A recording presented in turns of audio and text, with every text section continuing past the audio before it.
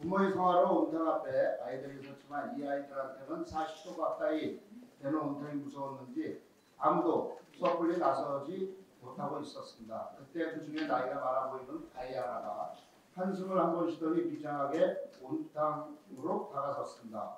그러자 아이들이 모두 존경의 눈으로 박수를 치면서 그 아이를 바라보더군요. 저는 이 광경을 보며 그 아이한테는 미안하지만 한교안 자유한국당 대표가 떠올랐습니다. 바로 수도권 험지 출마설 말입니다. 한교안 대표가 수도권 험지 출마를 공론한 이후 여러 수도권 지역들이 거론되고 있습니다. 처음엔 종로가 유력한 후보지로 대두됐지만 종로 이외에도 험지가 많다는 한교안 대표의 언급에 용산, 구로 등을 거쳐 강남까지 한교안 대표가 출마할 험지로 거론되고 있는 상황입니다. 그런데 이상하지 않습니까? 수도권, 즉 서울, 경기, 인천은 대한민국 인구의 절반인 2,500만이 거주하는 지역입니다.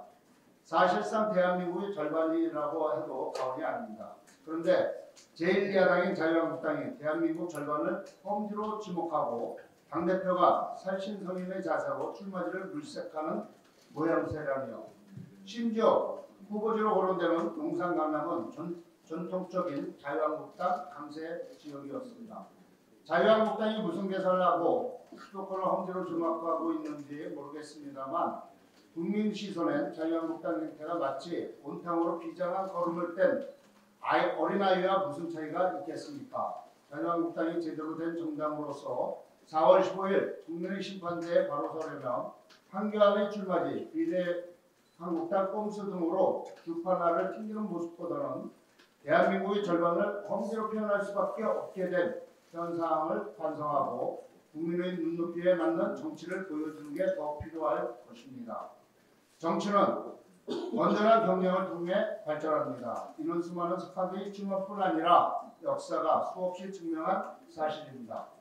부디 자유한국당의 정치가 국민 앞에 국민 눈에 코미디가 아닌 다큐로 비추어지는 날이 오길 그래서 건전한 경쟁으로 대한민국의 정치를 발전시킬 수 있는 날이 오길 기다리고 또 기다리겠습니다.